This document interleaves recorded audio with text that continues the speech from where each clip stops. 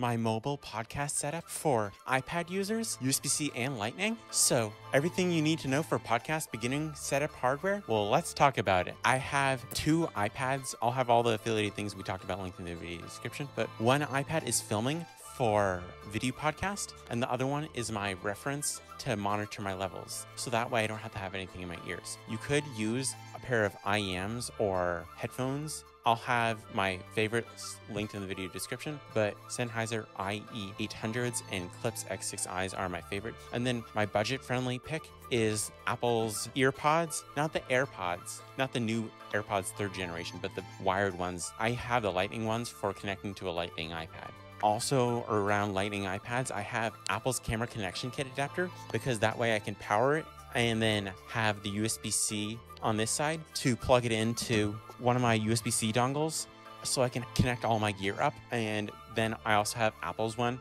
This one's the Intech one, and this one's the Apple multi-port adapter. Tip, if you're doing this by yourself, get one of these. These are a Bluetooth remote. I just have the Joby one. And so that way when you click it, it's you can have it sync to multiple devices so you can have it be the exact time so you don't have to worry about syncing issues. Or you can of course do the loud clap and see the waveform when you're podcast editing on your iPad. I'll have videos on that. Earmuffs are great if you're in a noisy environment and you're trying to either edit podcasts on your iPad or something like that. It blocks out a lot of the background room noise, is better than active noise canceling headphones in many regards when paired with like an IEM or something like that. And then quarter inch jack adapter so I can either monitor while I'm recording auditorily or I can plug in a shotgun microphone if I want to have podcasts with people that don't want to have to get wired up or don't have XLR microphones. This is only $20 and it has 90% of the performance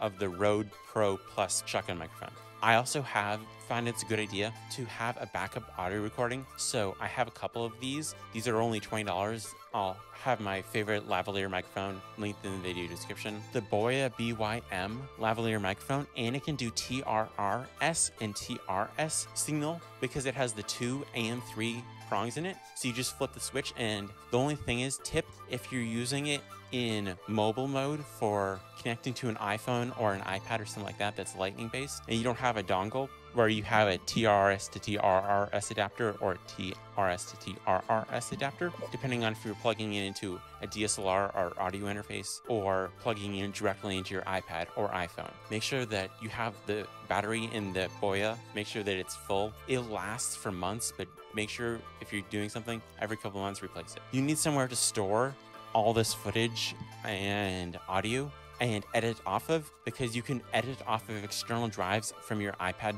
Pro and your iPad. These are both USB C, but this one's the budget podcasting choice. For storage, it's the Samsung T7, it's well known as a good value, but if you're looking to splash out on a, something that's Thunderbolt, because the new iPads have Thunderbolt, so it makes editing so much smoother, and this has a much bigger thermal envelope. So I won't go into that because that's not important, but I'll have other videos that I talk about these. But this one's IP67 dust and water resistant. This one, you can pretty much go anywhere. I'm currently at the beach, so this one you could throw in the water and not have anything issue with it. It's crush resistant, all sorts of stuff. But this is a lot more expensive than this.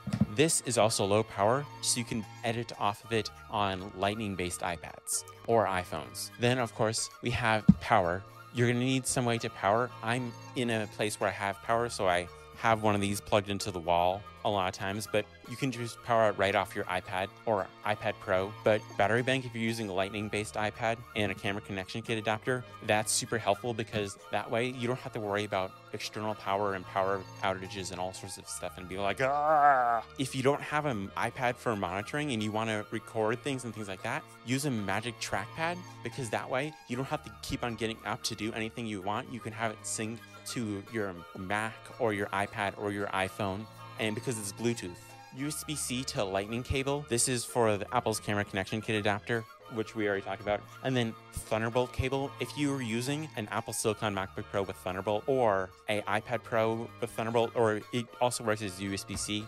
But as a general rule of thumb, I try and carry at least one Thunderbolt cable because Thunderbolt 3 slash Thunderbolt 4 can do USB, but USB cables can't do Thunderbolt. If you're only carrying one or two cables, carry two Thunderbolt cables. They're a little expensive, so it's an investment, so I understand if you go with just regular one. If you're going with a USB cable, I would just recommend Apple's 2 meter one. You can go with a third party, but I've never had an issue with Apple's charging slash data cables where I've had some calamities happen in the past. And you don't want to have to go up to somebody and be like, oh, sorry, we have to reshoot this because the cable malfunctioned or something. I can't believe for, I almost forgot this. This is important. You're going to need a microphone. I use a Rode Pod mic, which is an XLR microphone. XLR microphones provide more flexibility and generally better quality and is considered the professional standard for audio recording and mixing. I'm using the Rode Pod mic.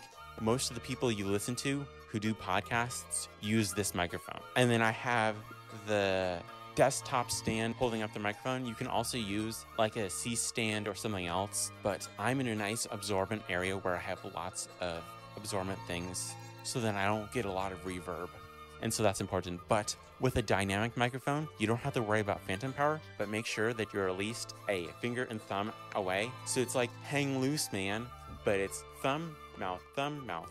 And I'll have linked in the video description my video on beginner's guide to connecting an audio interface to your iPad to watch next. But light is important. If you're not somewhere where there's good lighting, this is super helpful. It's an Aputure Amaran FL light. It works great as a fill light or in a pinch can be used as a key light and it's very inexpensive and budget friendly and it'll last you a long time and has really good CRI and can do tungsten and daylight so it's really flexible for matching your lights in your wherever you're whatever environment you're in because I currently have two lamps going but then I also have a another light right over here oops right over here that's the filling in the extra light if you don't have the luxury of using window light because natural lighting is nice, but it changes really quickly. So if you're wanting to do podcasting, learning how to set up artificial light is important skill. Stay tuned for a video I'll have on that. What is something that you want to know about podcasting?